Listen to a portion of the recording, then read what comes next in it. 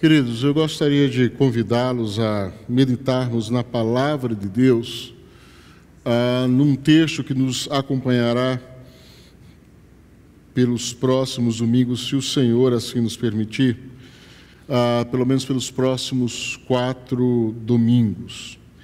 Nós estamos já há algum tempo pensando sobre Jesus e a família. E o nosso objetivo, quando pensamos e tratamos desse assunto, nosso objetivo era tratar das famílias, dos filhos de Deus, das famílias do Senhor, para que tivéssemos a oportunidade de estarmos alcançando outras famílias. E desde o começo do ano nós estamos falando sobre um tema e uma frase que demonstra aquilo que é a visão bíblica sobre família.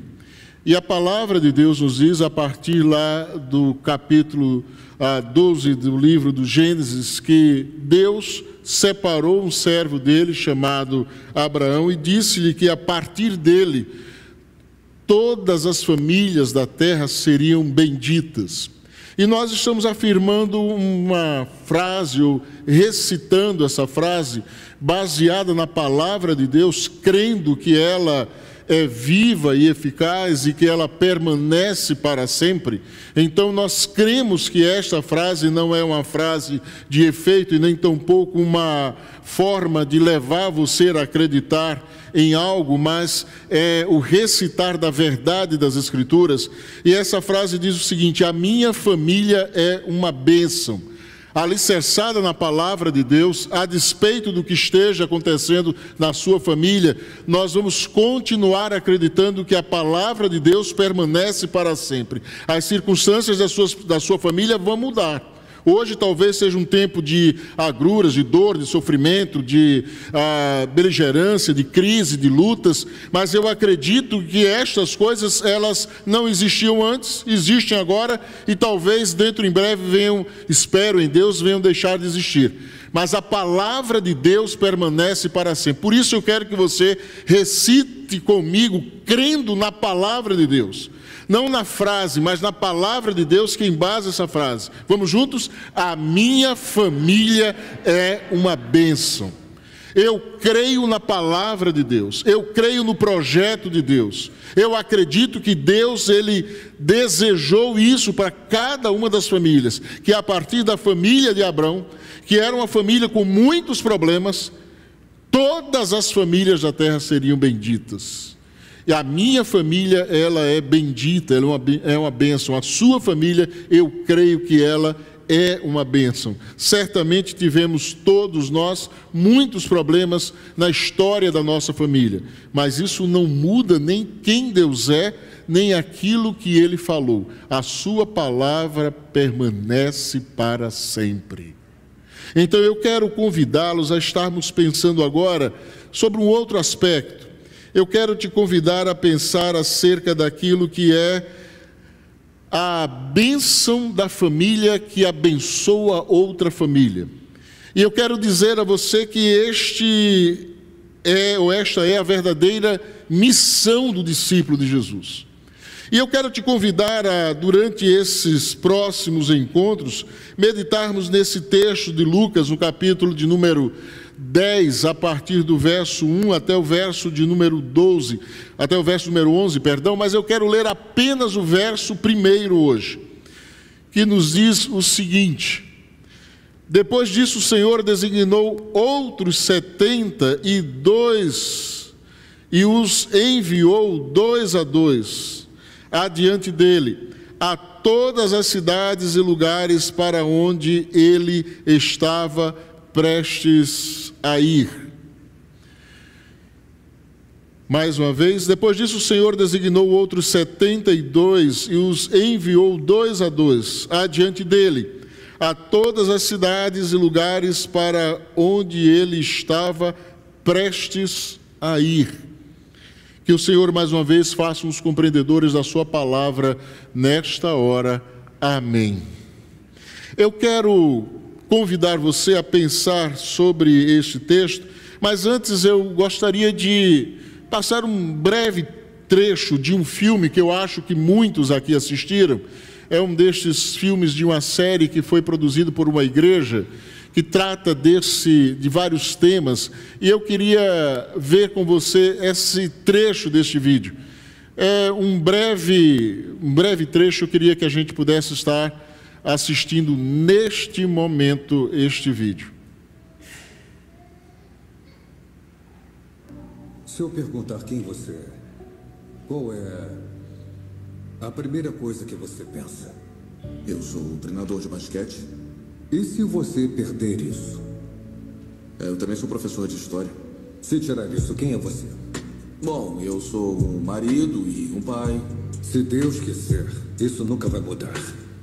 Mas se mudar, quem é você? Eu não entendi muito bem esse jogo. Não é um jogo, quem é você? Bom, eu sou cristão. E o que significa? Significa que eu sigo Jesus. E qual é a importância disso? É muito importante. Interessante. Porque está no final da sua lista. Não, peraí. Eu podia ter falado antes que eu sou É, cristão. mas você não fala.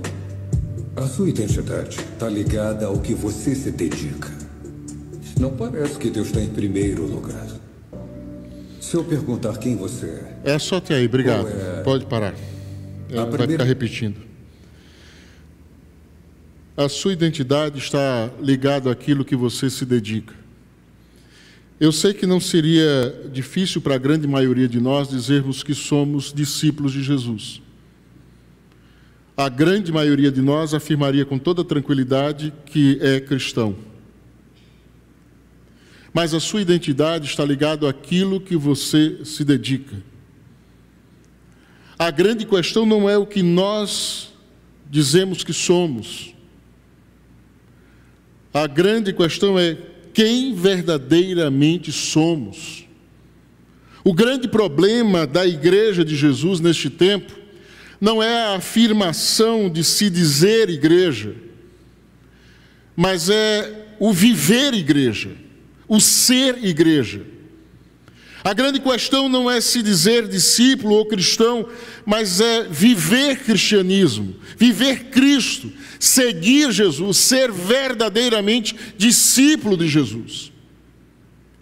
E diante disso, nós precisamos entender que, além daquilo que somos, como discípulos, o que define aquilo que somos é a dedicação que temos em relação àquilo que nós somos. O que vai reafirmar, o que vai definir, o que vai demonstrar que somos de fato discípulos, ou cristãos, ou seguidores de Cristo, de Jesus, é a nossa prática de vida, é a nossa atitude diante daquilo que são as lutas, as dificuldades, as crises, os empecilhos, as oposições, diante da realidade da vida, como nós nos posicionamos, é o que nos define de fato como cristãos. E aí eu quero trazer a você a partir desse texto, e eu gostaria muito que você permanecesse com a sua Bíblia aberta, se é, impressa ou digital, mas que você continuasse olhando para a sua Bíblia. Porque esse texto ele vai nos colocar algumas coisas que são importantíssimas. Em primeiro lugar, para que entendamos aquilo que Jesus Cristo estava falando, nós somos chamados e precisamos entender isso para sermos enviados. Deus nos chamou para si, para que a partir de nós estivéssemos sendo enviados a cumprir aquilo que é a missão que ele iniciou. Nós somos chamados para Jesus, para irmos após Jesus, continuarmos a sua missão. E essa é uma questão importantíssima, porque quando Jesus Cristo ele afirma isso, e eu quero que você olhe para esse texto, para o verso primeiro, Jesus diz: depois disso o Senhor designou. Existe uma palavra no original grego aqui para designar, que é interessantíssima. Essa palavra se repete muitas vezes no Novo Testamento, mas a grande maioria das vezes ela se apresenta ou ela é traduzida por expulsar. Quando Jesus expulsa um demônio, a palavra original é a mesma que foi pra, traduzida para designar. Ou seja, aquilo que Jesus fez com estes 72 discípulos foi lançá-los para longe, arremessá-los para fora da sua realidade, daquilo onde eles estavam, para que eles cumprissem a missão. Não é simplesmente dizer, olha, eu quero dar uma sugestão. Eu não sei o que é que você pretende da vida, quais são as suas ideias, para onde você está indo, quais são as suas escolhas. Eu quero fazer uma sugestão aqui a você. É, você pode ir, vocês podem ir às cidades que eu estou pretendendo visitar depois? Não, a ideia não é essa, a ideia é que Jesus os expulsou, os empurrou para que realizassem isso. É uma palavra imperativa, é um verbo no imperativo que diz: olha, vocês tem que fazer isso. E diante desta realidade que Jesus nos coloca, nós precisamos entender algo que é importante. Diante dessa realidade da missão, existe algo que algumas vezes nós não percebemos e é importante que nós olhemos para isso com cuidado. Existe algo que é maravilhoso, chama-se Igreja de Jesus, vida em comunidade vida comunitária, as celebrações, os cultos, as amizades, os encontros. Quantas vezes eu tenho oportunidade de estar com os irmãos em muitos momentos, ou seja, na igreja, em casas, ou viajando algumas vezes em lugares, ou como a gente teve no final do ano, um, um dia de lazer, um dia da família. Como é bom nos reunirmos. Mas é importante que nós saibamos que isso não é tudo. É bom, mas não é o melhor de Deus para a vida da humanidade. O melhor de Deus é a missão. É o obedecer ao Senhor e cumprir a missão. É bom estarmos na igreja, é bom vivermos igreja, mas é muito melhor obedecermos a palavra de Deus e cumprirmos a missão que Ele nos confiou. E diante disso, nós precisamos entender que missões, ou a missão da igreja, é a principal realidade que Jesus espera do seu povo neste tempo. E por que 70? Alguns colocam isso como um número que era tido pelos judeus e na cultura judaica como 70 ou 72, como alguma coisa que implicava em perfeição. Então, 7, 70, 70 vezes 7. Então, isso tinha a ver com perfeição. Outros ligam esta expressão àquilo que é a aparição ah, dos anciãos que subiram com Moisés ao Sinai para receber aquilo que viram a glória de Deus e receber as tábuas da lei. Outros ainda ligam isso à questão de que esta realidade agora era a realidade daqueles que haveriam de revelar a glória de Jesus àqueles que estariam recebendo esta visita. E ainda outros que olham para esta realidade a partir de uma outra ideia de que os 70 era um número que mostrava o que reuniam os chamados juízes de Israel, o sinédrio.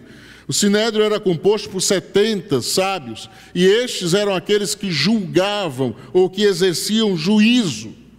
E outros acreditam então que estes 70 que foram enviados estavam ali para levar ou trazer aqueles que ouviriam de receber a mensagem aquilo que era o juízo próximo que estava por vir.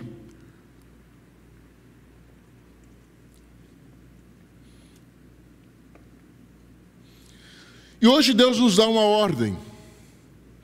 E essa ordem deve ser entendida como algo irresistível, como algo do céu, para cumprirmos a Sua vontade.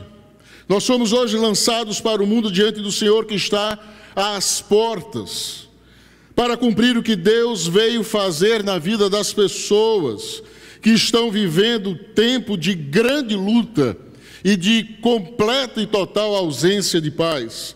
Somos chamados para sermos aqueles que vão levar as pessoas à experiência da paz. Jesus disse que eles estariam levando a paz.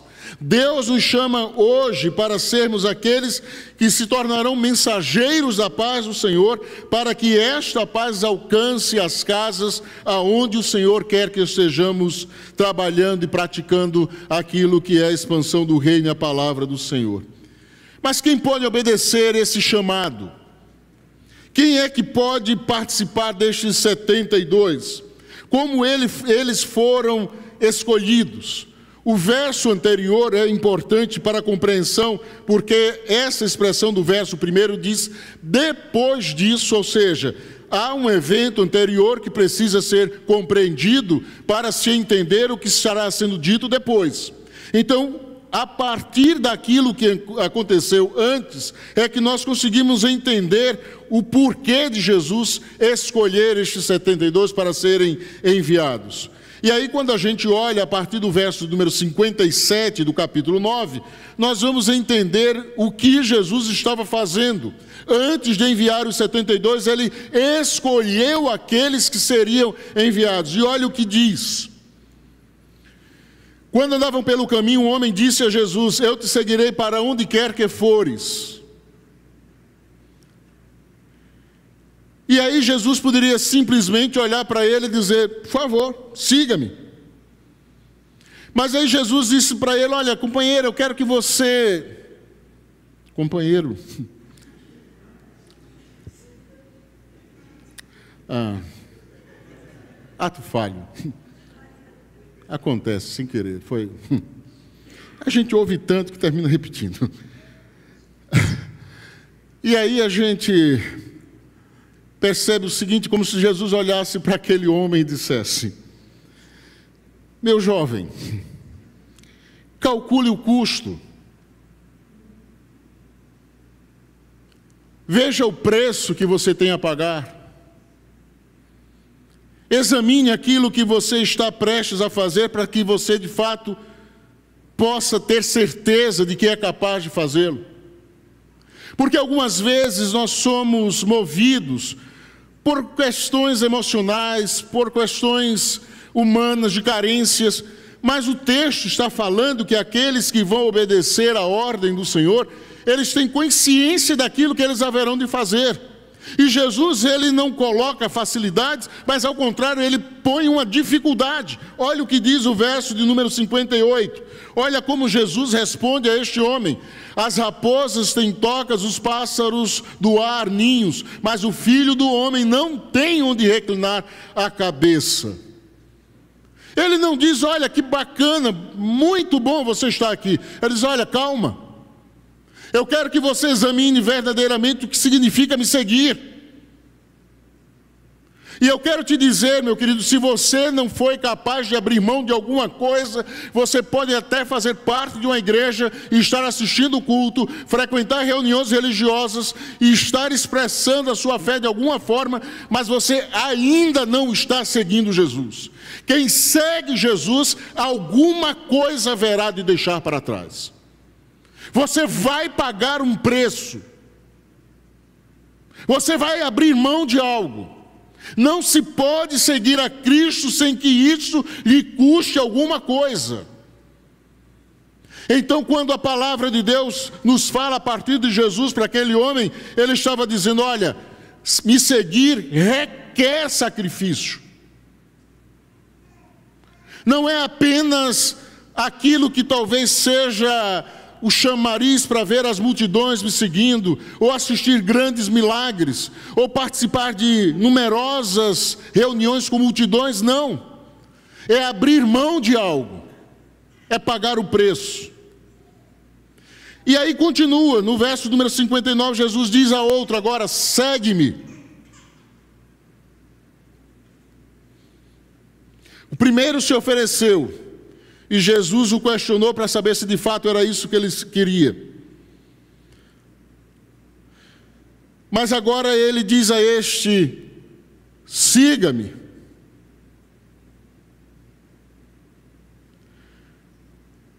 E aí ele disse, no verso 59, Senhor, Permite-me primeiro ir sepultar meu pai. Você sabe qual é a palavra que define a resposta deste homem? É a palavra primeiro. O problema desta resposta é a palavra primeiro. O problema dele é que ele não entendeu que seguir Jesus é colocá-lo em primeiro lugar. Jesus não estava se opondo a alguém a ir ao sepultamento do seu pai, longe disso. Jesus não estava impedindo alguém de tratar ou de cuidar dos seus, jamais. Esta não era a preocupação de Jesus e nunca foi. A questão que Jesus Cristo estava colocando aqui para este homem era o lugar que ele deveria ocupar na vida dele. Quem estaria em primeiro? Quem seria o primeiro da vida daquele homem? Se você deseja seguir Jesus, quem será o primeiro da sua vida? Porque se você segue alguém, ou seja, alguém estará à sua frente e você virá atrás. O conceito básico aqui é: Jesus tem que ir à frente, então ele é primeiro. Então não existe mais nada que possa entrar ou atrapalhar essa relação. Jesus é o primeiro na vida. E quando a gente olha para esta ideia de primeiro, a gente percebe que Jesus ele é muito claro quando diz: Olha, deixa os mortos sepultar os seus mortos, mas tu vai e prega o reino de Deus, como ele fala no verso 60. Mas ele estava dizendo aqui: Olha, eu não quero que você vá sepultar o seu pai. É óbvio que a preocupação de Jesus não era essa, e é bom lembrar que na, no período do tempo de Jesus, na época de Jesus, os sepultamentos eram aconteciam duas horas depois que era dado alguém como morto. Depois de duas horas já era lançado dentro de uma cova, ou dentro de uma caverna, ou algum lugar que pudesse ser fechado depois. Não se esperava. O sepultamento poderia demorar no sentido de chorar o morto por vários dias. Eles ficavam sete, 14 dias chorando pela dor daquele que partiu, ou daqueles que tiveram a, a perda da sua, do seu parente melhor. Mas o sepultamento acontecia dois dias depois, duas horas depois, perdão. Então não era essa a questão. Mas aqui Jesus Cristo estava trazendo algo que é importantíssimo. E aqui ele estava dizendo para ele: olha, é fundamental que você entenda que eu preciso ser o primeiro na sua vida. E quando a gente fala de primeiro, é importante que nós estejamos olhando, porque isso vai acontecer depois, no verso 61, quando Jesus mais uma vez diz: Alguém diz para ele, Senhor, eu te seguirei, mas deixa-me primeiro. Aí Jesus mais uma vez vem e, corre, e responde a esse, dizendo: Ninguém que lança a mão do arado e olha para trás é apto para o reino de Deus. O que Jesus estava fazendo aqui é tratando de algo muito simples, é a questão da honra. Quando a Bíblia fala sobre honrar a Deus com as primícias da sua renda, é que você está dizendo: olha, Deus é aquele que de mais importante há na minha vida. Ele é o que mais importante eu tenho. Isso é a ideia de honrar. E quando a gente olha para esta realidade do honrar, eu lembro de algo que aconteceu no período da minha infância. Meu pai, ele ficou viúvo da minha mãe e logo depois ele casou. E a minha madrasta, que eu chamo de mãe até hoje, ela sempre foi muito preocupada com a questão de honrar o marido. E lá havia na nossa casa, nesse tempo, uma norma que a gente só comia alguma coisa depois que meu pai comesse. Então, tudo ele tinha que comer antes para que a gente pudesse comer depois. Tudo, absolutamente tudo.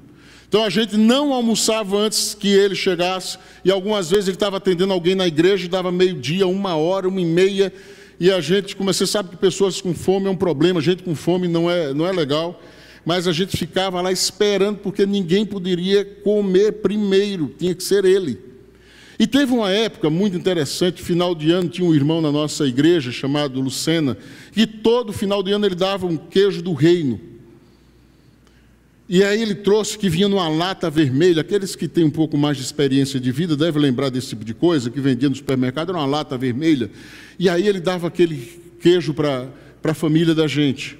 E a gente ficava aguardando para comer o queijo do reino, porque era a única época que a gente comia queijo do reino, que era algo caríssimo. E aí a gente ficava esperando, mas aí teve um problema. Meu pai viajou para fazer uma, uma campanha evangelística na Europa, então ele ficou foi visitar Portugal, Espanha, França e ficou 45 dias.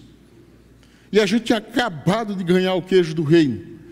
E a gente passava por aquela lata vermelha o tempo todo, olhando para ela, babava, querendo comer daquele queijo, mas nada, tinha que esperar ele chegar. E a gente ficava, mãe, não dá para abrir, vai demorar muito, ele vai, vai passar, vai, vai chegar só em fevereiro. Não, sem seu pai a gente não come esse queijo, ele tem que comer primeiro. E olha, foram 45 dias de sofrimento, sonhando para comer o queijo. E aí ele abriu o queijo, quando ele chegou, e estava podre.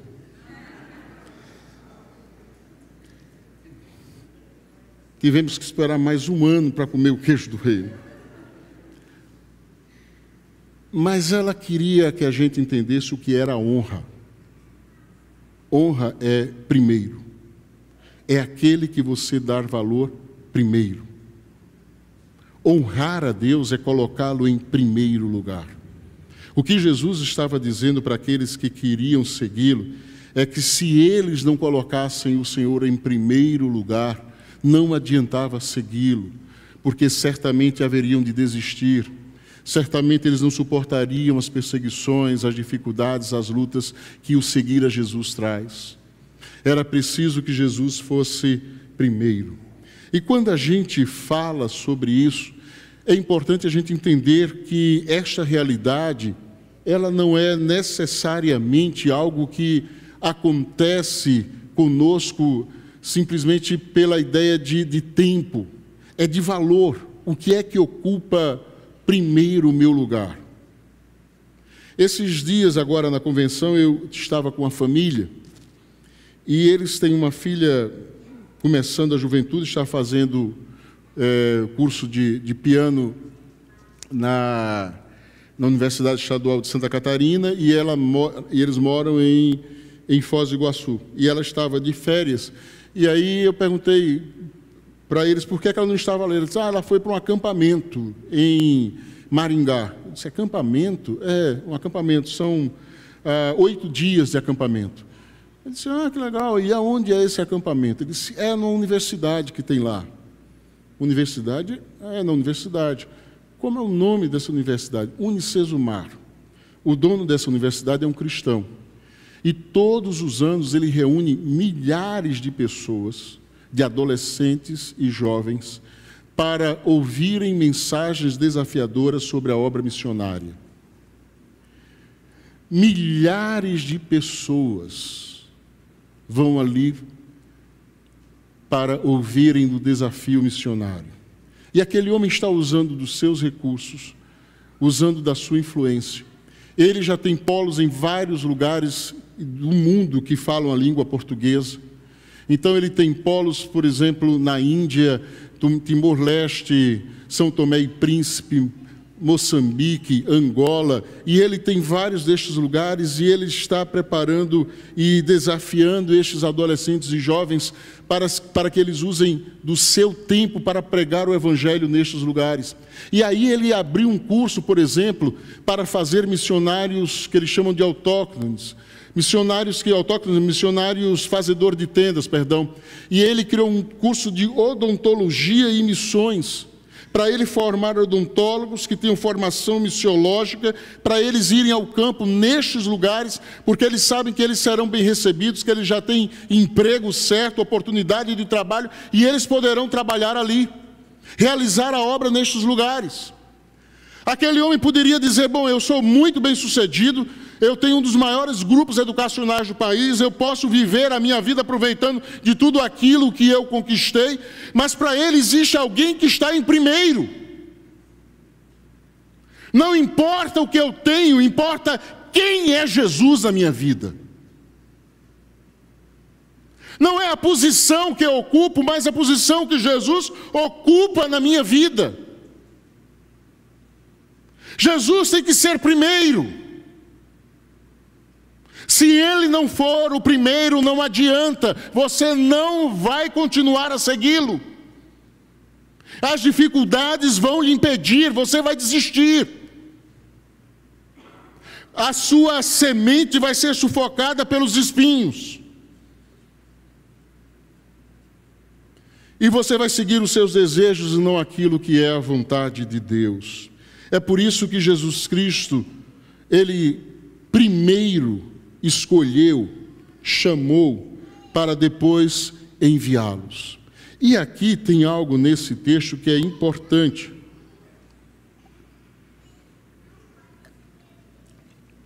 Para a compreensão desse chamado. É que ele, o texto vai dizer no verso primeiro, o seguinte: e eu quero que você observe mais uma vez o verso primeiro.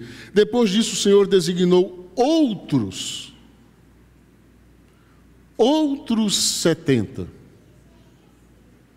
O texto está dizendo que existiram alguns que foram também chamados, mas que ainda não tinham sido enviados, porque precisou que levantassem outros. E aí a gente entende o que Jesus Cristo estava dizendo. Ele vai realizar a missão. Com ou sem você, ele vai realizar a missão. Ele vai cumprir aquilo que ele designou. Ele vai cumprir o seu propósito. A missão será realizada. Com ou sem você, Deus vai cumprir a missão. A questão aqui é se você vai estar ou não entre os 72. A questão aqui é saber se você vai ou não obedecer ao Senhor ao ponto de seguir aquilo que Ele designou. Se você vai obedecer ou não ao chamado de Jesus. E diante disso, Ele vai dizer o seguinte: Olha, eu estou enviando outros, porque alguns foram chamados, alguns eu procurei para que seguissem. Mas eles inventaram a desculpa, procrastinaram as coisas, decidiram fazer outras coisas primeiro. E não me colocaram primeiro na vida, mas disseram que outras coisas deveriam ser feitas antes. E por isso não fizeram ou não puderam estar entre aqueles 72 que foram enviados. E diante disso, queridos, Jesus vai enviar. Alguém vai ser chamado e vai ser enviado. Se você ou não você, com você ou sem você, alguém vai ser enviado, vai ser chamado e vai cumprir a missão do Senhor. E ele tem uma preocupação com esse momento que Jesus eu acho interessante que ele manda de dois em dois. E eu entendo que ele tem uma preocupação com isso. Primeiro que o evangelho se semeia, o evangelho da paz se semeia na paz. Quando você vai lá em Tiago, capítulo 3, verso 18, vai dizer que o fruto da justiça é semeado em paz pelos pacificadores. Jesus queria dizer àqueles que estavam sendo enviados que muito mais do que levar a paz àqueles que eles haveriam de encontrar, eles precisavam estar vivendo em paz. É preciso que a gente se pergunte qual a nossa ação no reino de Deus. Somos pacificadores? Porque se assim não for, nós estaremos criando dificuldade para a continuação da pregação do Evangelho. Uma outra coisa que o texto vai mostrar, que Jesus vai nos deixar lá na oração chamada sacerdotal, no capítulo 17 do Evangelho de João, é que ele manda de dois em dois porque precisava haver unidade. E olha o que diz o texto, palavras de Jesus. Para que todos sejam um, Pai, isso é uma oração. Como tu estás em mim, eu estou em ti. Que eles, os discípulos, também estejam em nós, para que o mundo creia que tu me enviaste. A unidade do corpo de Cristo não é uma opção, é uma necessidade para o testemunho eficaz. Se nós não andarmos em unidade, estaremos atrapalhando o desenvolvimento da igreja e da pregação do Evangelho. Mas eu quero deixar algumas coisas aqui bem práticas para todos nós. Em primeiro lugar, se nós queremos de fato participar do grupo dos 72, nós precisamos ter consciência da missão. E consciência da missão não é apenas do chamado, que é importante, não é apenas do custo a ser pago para cumprir o chamado e realizar a missão, mas a consciência da realidade que nos cerca. Nós precisamos ter consciência daquilo que está ao nosso redor. E diante disso, vocês sabem que a internet ela é movida por algo, as redes sociais é movida por algo muito muito comum, né, normal, chamado de treta. Se tem treta, movimenta a internet. Se tiver uma confusão, a coisa anda. Vai chegar para todo mundo. E aí, recentemente, houve uma treta no meio evangélico. Também não estamos fora das tretas da internet. E a treta veio a partir de uma jovenzinha, uma adolescente, chamada Aimee. E essa jovenzinha cantou num programa de televisão uma música que ela compôs. Aimee, eu acho que é esse o nome. E aí surgiu um monte de discussão. Alguns diziam que ela era crente, outros diziam que não era crente, alguns falavam que aquela letra era de alguém que não respeitava a igreja. Que... E aí surgiu que igreja era essa, qual era a igreja que ela era parte. Mas eu, eu quero olhar para isso eu não, não conheço a pessoa, não conheço a história, não procurei saber da história, mas eu quero olhar para a letra da música que causou todo esse mal-estar. Eu queria apenas olhar para algumas das questões que esta letra traz. Que eu acho importantíssimo que a gente olhe para elas. E olha aqui o que diz esta letra. Olha o que diz: fazemos campanhas para nós mesmos, eventos para nós mesmos, estocamos o maná para nós, oramos por nós mesmos e pelos nossos. O reino virou negócio, o dízimo importa mais do que os corações. Enquanto ele, Jesus, está querendo quem nós nem pensamos ou nos preocupamos. Oramos errado há séculos, dias, horas e anos. Nos afastamos. Há um evangelho de fariseus. Cada um escolhe os seus e se inflamam na bolha do sistema. Ah, enquanto isso, no Marajó, João desapareceu, esperando os ceifeiros da grande seara. Mais adiante ele vai dizer: estamos apodrecendo o corpo, ela vai dizer, o corpo de Cristo. O sangue não está circulando, o sangue está coagulando. Estamos no ápice da nova era e a falsa noiva se rebela contra o noivo que espera ver um caráter cristão. Farisaísmo, ou a palavra fariseu, é a palavra santo, separado. A palavra fariseu é a palavra santo. E eles se autodenominavam santos, porque eles buscavam viver uma vida de santidade. Como assim uma vida de santidade? Eles jejuavam duas vezes por semana, eles davam dízimo de tudo. Lembra que Jesus disse que ele dava o dízimo do coentro? Eles davam dízimo de tudo. Eles se preocupavam em ir ao templo, não faltar às atividades religiosas, festas. Mas a acusação de Jesus aos fariseus não era pela sua busca por viver uma vida de moralidade e integridade, uma vida de princípios e valores éticos corretos. A questão de Jesus com os fariseus era que eles esqueceram do outro. Eles achavam que só eles tinham direito a viver essa experiência. Eles esqueceram do outro. A igreja de Jesus desse tempo, ela tem muito mais atividades para si mesma do que para o outro. Ela está muito mais preocupada com as 99 do aprisco do que com a ovelha perdida. Ela está muito mais ansiosa por entreter aqueles que participam do seu aprisco do que buscar as, a, a ovelha que está perdida lá fora. E diante disso, é importante que nós saibamos que talvez o nosso farisaísmo esteja alicerçado nisso que as nossas preocupações, as nossas confusões, os nossos discursos, as nossas brigas, as nossas lutas, as nossas ocupações, as nossas realidades são sempre voltadas para dentro, para nós. Eu louvo a Deus porque faz mais de uma década que todos os domingos eu oro pela infância do Brasil.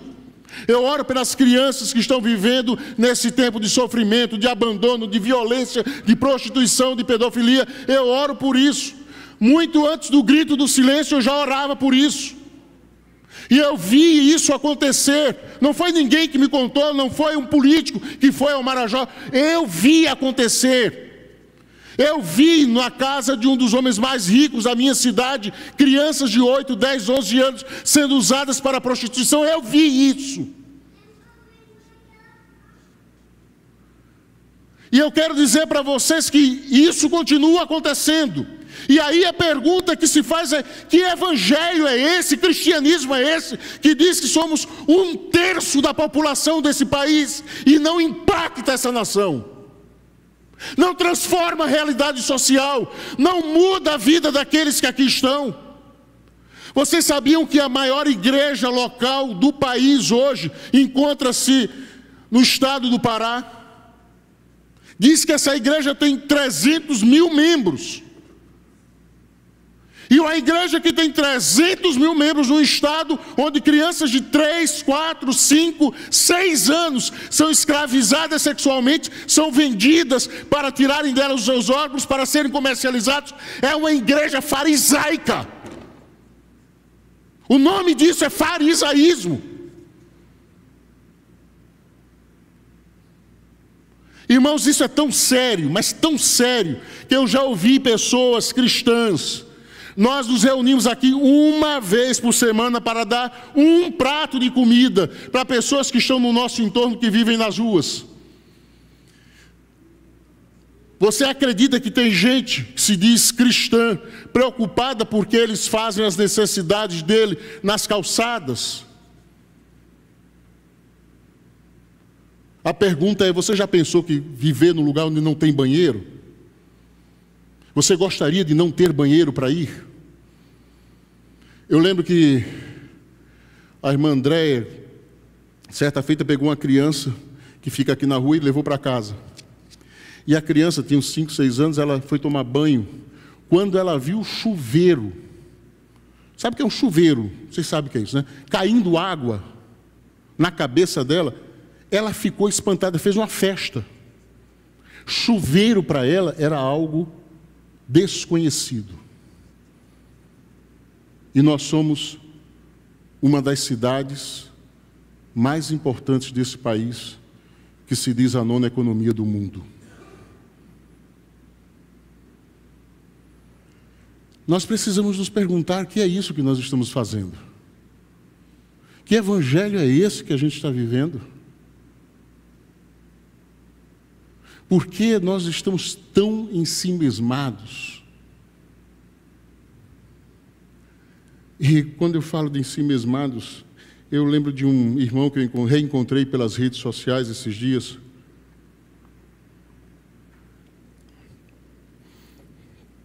Passou por aqui entre nós, foi membro da nossa igreja e hoje mora em Araruama. E aí esse irmão falava sobre aquilo que era o tempo que ele viveu aqui. E ele estava falando que nesse tempo que ele vivia a drogadição, dependência química, ele usou a expressão, mas eu estava muito ensimesmado e eu era muito egoísta, só pensava em mim mesmo. Eu tenho descoberto que tem gente, muita gente mais drogada vivendo no nosso meio, que só pensa em si mesmo, na autossatisfação, no alto prazer.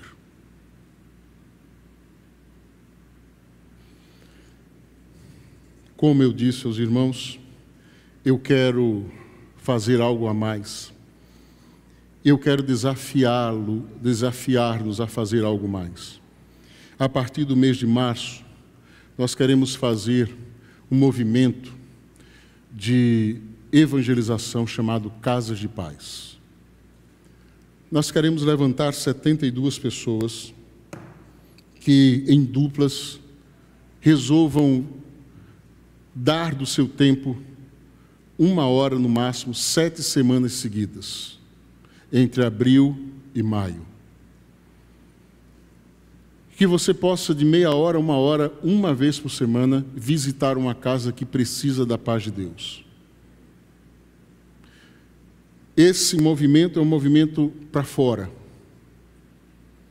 Nós vamos dar a você o treinamento, vamos dar a você os equipamentos, vamos trazer a você aquilo que pode ser a sua prática, ou como ser ou realizar essa prática.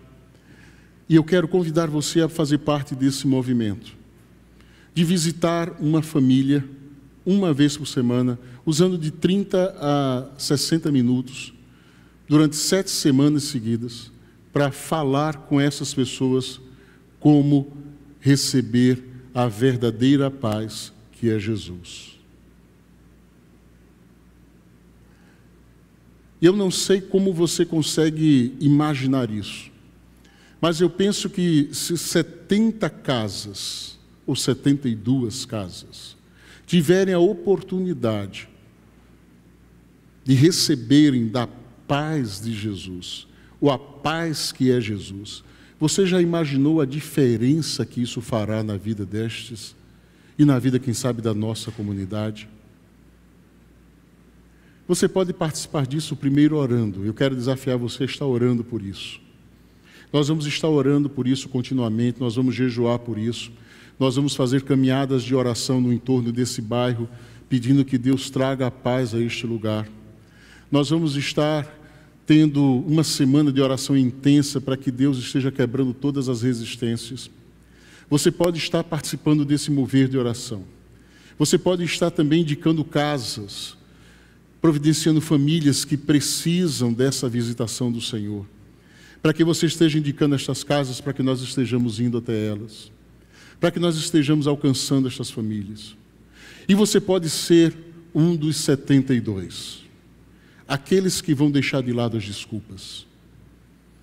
Aqueles que vão deixar de lado as questões pessoais humanas, os prazeres e os privilégios carnais desse tempo e vão dizer: Senhor, eis-me aqui, envia-me a mim.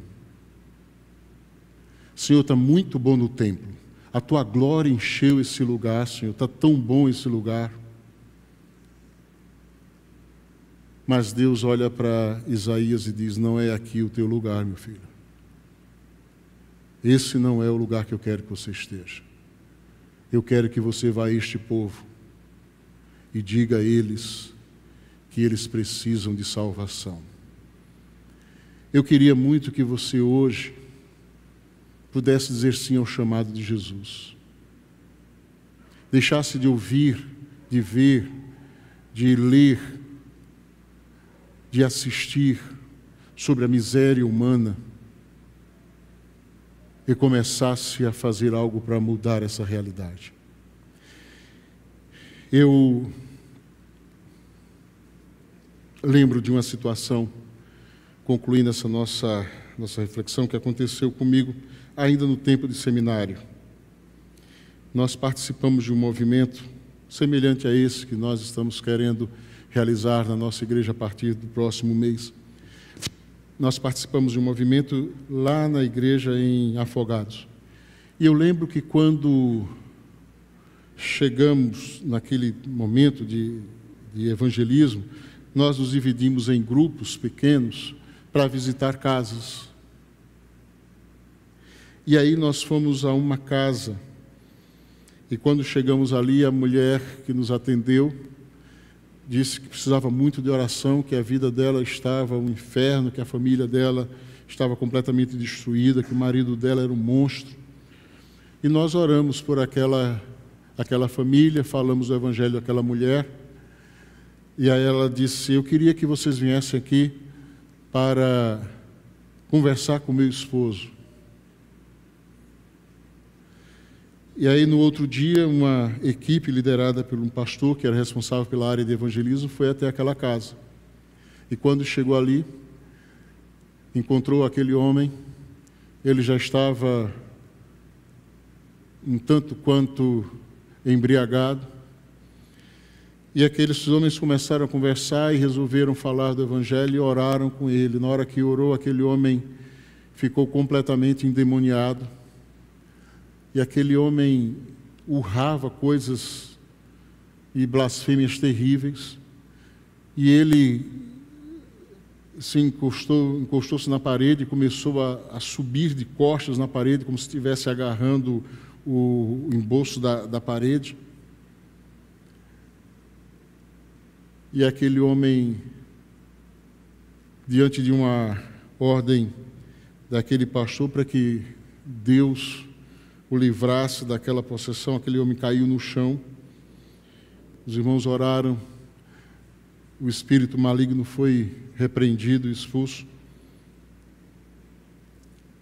E aquela família começou a frequentar a igreja. E uma das coisas que aconteceu naquela casa foi a cura e a restauração daquele lar. Aquele homem que tinha que vivia com aquela mulher, casou com ela e ela tinha uma filha do primeiro relacionamento. Que eles se encontraram, ela já tinha mais de 14 anos, 15 anos aproximadamente, e aquele homem se relacionava sexualmente com aquela menina. E aquele homem foi liberto por Deus, transformado, curado, e a vida daquela família foi restaurada para a glória do nome de Jesus. Nós muitas vezes achamos que o que nós estamos vivendo hoje é apenas e tão somente uma questão social. Não, as famílias estão se destruindo, é apenas uma questão de época, da realidade social desse tempo.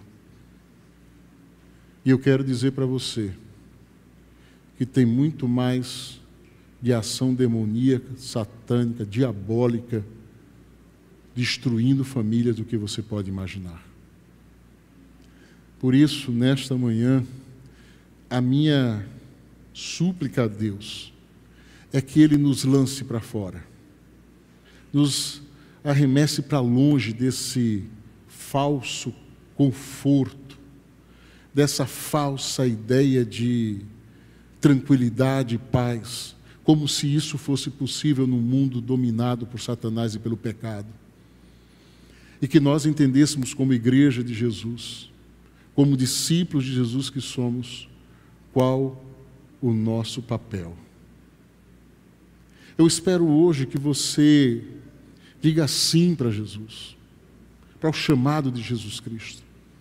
Que você saia desse conformismo, que o Senhor, com a autoridade dos altos céus, arranque de você toda desculpa, todo sentimento de procrastinação para com a vontade dEle, com a obra que Ele quer realizar. E que hoje você possa dizer: sim, Jesus, eu quero fazer a tua obra. Eu quero impactar este mundo, a minha geração, as pessoas desse tempo. Eu quero que a tua paz venha invadir lares e famílias que muitas delas são preciosas a mim. São famílias que me são extremamente valiosas, mas que não vivem a paz do Senhor porque Jesus não habita este lugar. E eu quero desafiar você a dizer sim para Jesus Cristo hoje. Eu quero desafiar você a sair hoje do seu lugar e dizer: Deus, eu quero tomar uma decisão. Eu não quero apenas ouvir falar do que precisa ser feito. Eu quero ser usado por Deus para realizar o que precisa ser feito. E eu gostaria de convidar você a tomar uma decisão. Alguém que ouve o Evangelho, a mensagem, a pregação, tem que tomar uma decisão. A mensagem, ela tem que ter desafio e precisa desse desafio ser tomado a decisão de se aceitar ou rejeitar. E eu quero convidar você a estar vindo aqui à frente, porque eu quero orar por você. Eu quero que alguns irmãos estejam orando pela sua vida. E eu queria convidar, convidar perdão, o irmão Patrick, o irmão Douglas, o pastor Estevão, a Bianca. Eu queria que eles estivessem aqui à frente, eles vão estar orando por você. Eu queria muito que você hoje saísse do seu lugar e dissesse: Deus, eu creio que eu sou a resposta do Senhor para esse tempo de sofrimento, de angústia, de medo, de dor, de aflição. Eu quero que você diga sim para Jesus hoje, sim para o chamado do Senhor. Enquanto nós estivermos louvando ao Senhor, eu quero que você saia do seu lugar e venha aqui à frente. Eu quero que você diga: sim, Jesus. Eu quero ser o mensageiro da tua paz. Eu quero ser, sim, o mensageiro dessa palavra que leva a presença bendita de Jesus a pessoas que necessitam dessa transformação. Por isso, se você quer que a gente esteja orando por você, e se essa é a sua decisão, de ser esse instrumento de Deus para alcançar vidas, para levar a paz de Jesus. Eu queria que você saísse do seu lugar e viesse aqui à frente enquanto nós estamos louvando, enquanto o grupo de louvor está cantando. Saia do seu lugar, venha aqui à frente. Eu quero orar por você, eu quero clamar a Deus pela sua vida. Saia do seu lugar e diga sim para Jesus. Diga sim ao Senhor, diga sim ao chamado de Deus para a sua vida. Não é um sim à igreja, não é um sim a uma situação, mas é um sim a Jesus. É um sim à vontade de Deus. É sim para a missão do Senhor. É sim para aquilo que Deus quer realizar para a sua vida. Diga sim para o desafio de Deus para você. Não deixe que outro vá no seu lugar.